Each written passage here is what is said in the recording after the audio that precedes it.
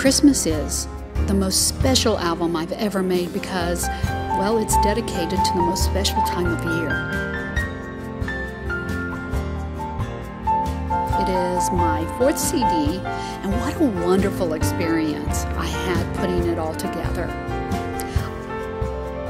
I sang a duet with Don Most about a year ago, and we had such a great time we decided to do a duet on the album.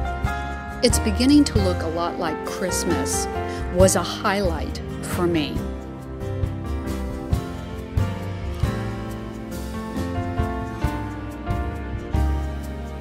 Once again, Todd Schroeder produced my album at the Doghouse Studios here in Los Angeles. Many of the guys who play at my live shows also are on the album. Seen here, Tony Mandrakia on guitar, Tim Christensen on bass, of course, Todd, Don, me, and Chris Jago on percussion. Christmas is is set to be released on November the 1st and can be found on all of your favorite places. CD Baby,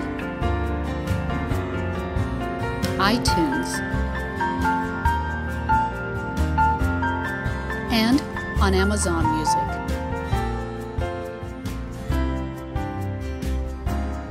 I hope you enjoy Christmas Is.